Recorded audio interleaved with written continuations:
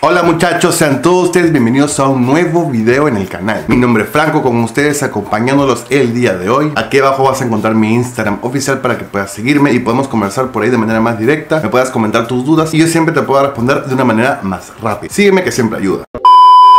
El primer video del año, cracks, nuestra primera interacción del año 2021. Nuevamente, muchísimas gracias por el apoyo que le dan a este canal y arranquemos este año con fuerza. Y como este canal es dedicado a ustedes, mis suscriptores y mi audiencia en general, voy a recomendarte ciertos autos que en mi opinión son baratos, son usados, y son de segunda mano, pero son muy interesantes y para la gran mayoría de personas tal vez tengan un precio interesante de comprar por lo interesantes que son a la vez. Son autos que han representado muchas épocas, muchas cosas y muchos momentos en la vida de muchas personas y no solo eso, sino que son famosos a nivel mundial por su desempeño, por lo interesante, por lo bonito y exótico que llegan a ser alguno de estos modelos muchas veces. Es por esto que a continuación permíteme presentarte 6 autos usados baratos interesantes que puedes comprar. Número 6, 330CI. Este BMW de aproximadamente el año 2004-2005 puedes conseguirlo desde los 8 mil dólares hasta los 12 mil dólares o 13 mil dólares inclusive y es un poco ya costoso por un auto de su edad, pero es uno de los BMW más bonitos que alguna vez se ha fabricado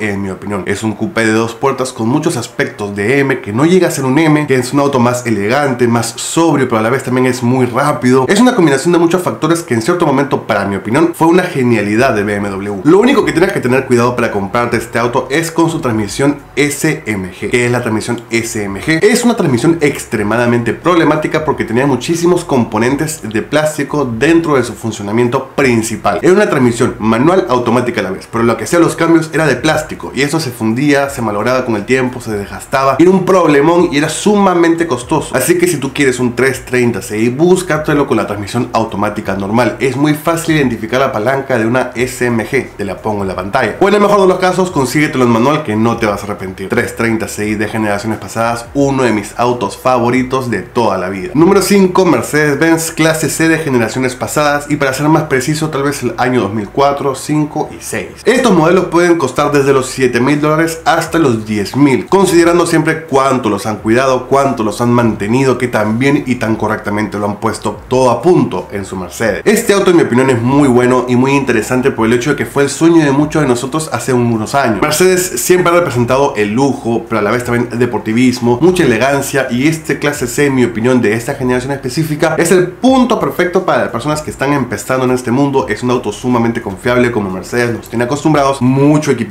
muy buena atención al detalle por dentro y por fuera y mucha elegancia por donde lo veas, en los asientos delanteros, en los asientos traseros. Si tú quieres un Mercedes-Benz usado, esta puede ser una buena opción para ti. En mi opinión, un precio muy interesante para un auto también muy interesante. Número 4, Toyota Celica. Y estoy hablando del Toyota Celica de más o menos en el año 2000, 2002. Tiene un precio base de aproximadamente 6 mil dólares hasta los 10 mil dólares, inclusive en un ejemplar muy bien cuidado y mantenido. El Toyota Celica tenía para su época un diseño muy futurista, un diseño deportivo muy interesante que a muchas personas los volvió fanáticos de la marca, fanáticos acérrimos del modelo Celic. Si bien no se produce en la actualidad y ya fue descontinuado hace algún buen tiempo, todavía puedes conseguir esos ejemplares de segunda mano, existen varios, fueron muy populares por ser de una marca tan, pero tan popular como Toyota y a la vez también tan confiable y por esto las personas consideraban que era un auto con un buen equilibrio entre lo bueno y la garantía que te daba la marca y el deportivismo y el look agresivo del Celica. En mi opinión, nuevamente, si tú quieres un auto interesante, esta puede ser una muy, muy buena opción para ti, sin duda algunas, a pesar de los años. Número 3, Nissan 350Z. Y este auto tal vez sea un poquito más caro, a partir de los 10 mil dólares hasta los 15 mil dólares. Estoy hablando aproximadamente del año 2004, 5 y 6. Este modelo tiene un genial motor V6, 3.5 litros de nada menos que 287 caballos en un auto sumamente pequeño. Si bien al pasar el tiempo y al pasar los años los autos comienzan a perder un poco de caballaje, te puedo garantizar que tener más de 250 caballos pasando 10 años, es un autazo. Suena muy bien ese doble tubo de escape que tiene en la parte trasera, pero en especial ese diseño exterior muy, muy característico de la línea Z de Nissan es sin duda algunas irreemplazable y fue el sueño de muchas personas, incluido el mío, que tal vez hoy en día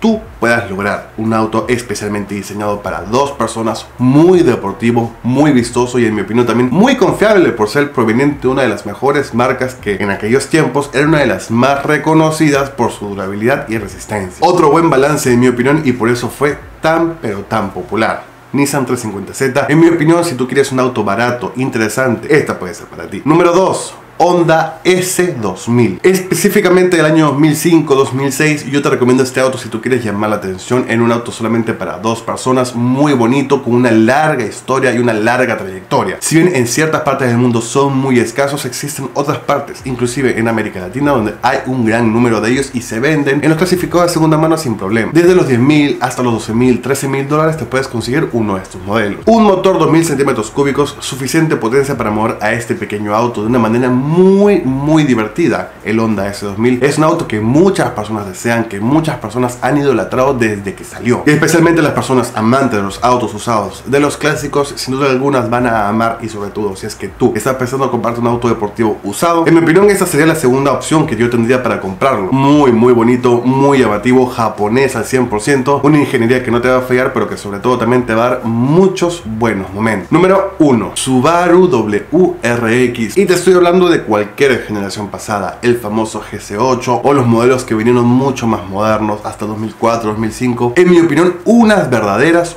obras de arte, unas verdaderas joyitas. Si tú eres fanático de Subaru y especialmente de estos modelos especiales turboalimentados, sabrás muy bien de qué me refiero cuando escuchas el blow off funcionando de los motores boxer de Subaru y especialmente aquel sonido, ese ronroneo muy especial de aquellos motores es inigualable y ahora lo puedes disfrutar. Con precios aproximados desde los 9 mil hasta los 15 mil dólares tenemos un gran abanico de opciones, un gran rango de precios que tal vez te pueda interesar si de por sí tú ya estás pensando comprarte un auto deportivo japonés. El menos potente, el WRX tiene un motor 2000 centímetros cúbicos turbo alimentado de 230 caballos de fuerza, ese sonido bestial espectacular, ese sonido del turbo, ese blue off muy característico. Ese es un auto de culto sin duda algunas, es un auto que no cualquiera tiene porque prefieren autos más cómodos, prefieren autos un poco más citadinos, en cambio una persona que tiene la adrenalina en las venas se compra un WRX o un STI sin duda alguna. En mi opinión este fácilmente es la primera posición por su practicidad, tiene cuatro puertas, tiene un maletero muy grande, tiene siguiente potencia, tiene un look